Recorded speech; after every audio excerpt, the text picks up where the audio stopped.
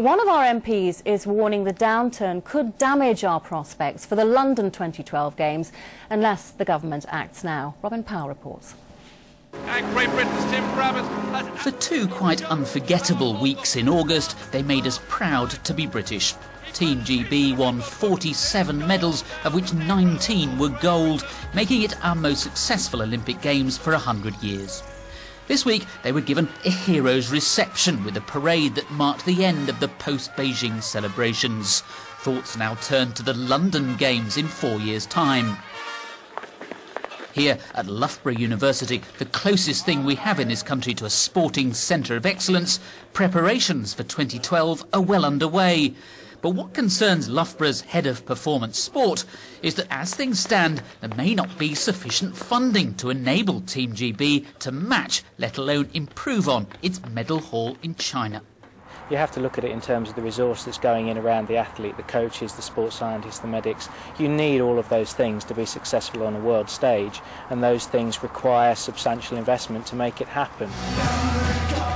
Two years ago, the then Chancellor Gordon Brown announced an extra £300 million for UK sport to spend on preparing for 2012, in addition to the £50 million a year already agreed. £200 million of the additional funding will come from the Exchequer and about £20 million from the lottery. The government says the remaining £80 million or so will come from the private sector. But in the current economic climate, Loughborough's Labour MP says that's unrealistic. I think the reality is you're talking at less than £10 million in the current climate. The problem for UK sport, who will have to try and find this private sector money, is that they don't actually own many rights to sell to the private sector. Many of the national governing bodies, like uh, cycling, have done their deal with Sky, and others are going to be doing similar things elsewhere. So there is a real danger that actually uh, the, the athletes, the up-and-coming athletes, will be those that will miss out. Andy Reed put his concerns to the Secretary of State for Culture, Media and Sport in the Commons. In his reply, the Minister said he was confident the extra money would be found. Now, we'll soon announce a new scheme called Medal Hopes, which will provide opportunities for businesses up and down the country to be associated with the World Class Performance Programme. And I am very confident that we will uh, raise uh, the money needed to make sure we, we get uh, even more success in London 2012. The policy nowadays is to reward Olympic success with greater funding. So swimming, for example, is expected to be one of the winners when UK Sport announces in December which sports will be getting what. But once again, the word is there'll be a generous settlement for athletics, despite the fact that our athletes failed to reach their medal target in Beijing.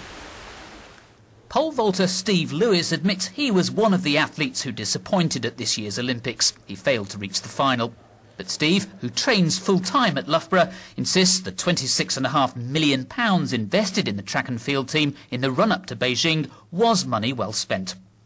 Something what wasn't really in the press that that much as we had double the amount of finalists this time. So we had 15 finalists. In, in, in, Athens, we only had seven finalists.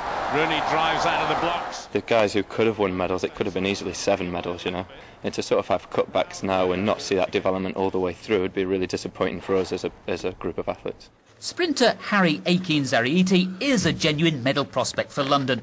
The second year Loughborough undergraduate can assure the taxpayer that he, for one, will make the most of every penny of funding he receives for me when I go out there in 2012 and you know when I would do win my medal you know I'll be making a lot of people happy and I'll be making a lot of people proud and knowing that they didn't waste their money or time. To maximise Harry's chances of success, Andy Reed says UK sport needs to know now that the extra £80 million will be available. So I'm asking for an underwriting uh, of that amount. It would be great if the private sector then come up with it, but we need to remove that uncertainty pretty quickly. With only a few weeks to go before UK sport is due to draw up its plans for the next four years, time is running out.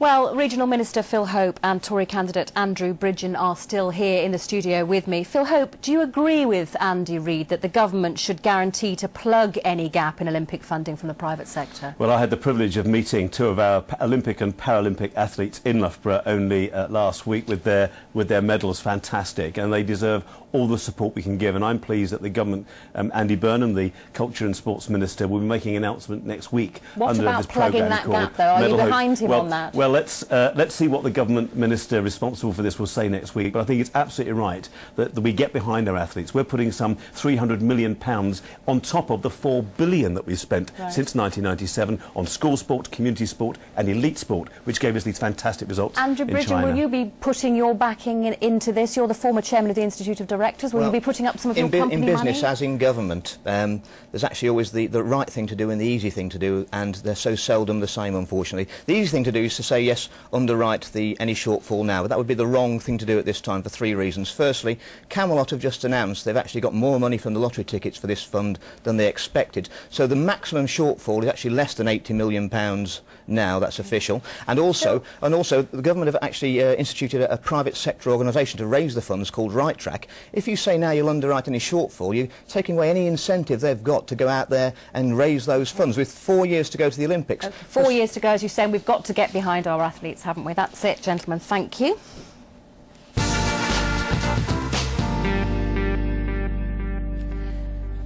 Now, some time ago, we revealed how Nottingham campaigner Mark Glover faced charges in Canada after being arrested in a protest against the slaughter of baby seals. Well, this weekend, a Canadian judge found him not guilty of breaching the exclusion zone. I spoke to him a short time ago and asked him if he was surprised he'd been acquitted. Um, we weren't surprised based on the evidence,